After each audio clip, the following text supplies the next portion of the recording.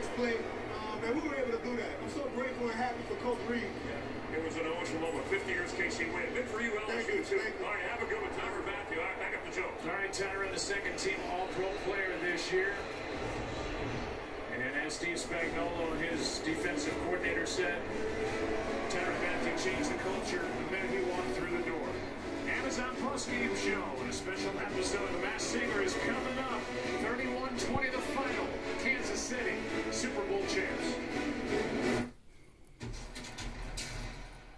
me, Eli Manning, that was my last football season.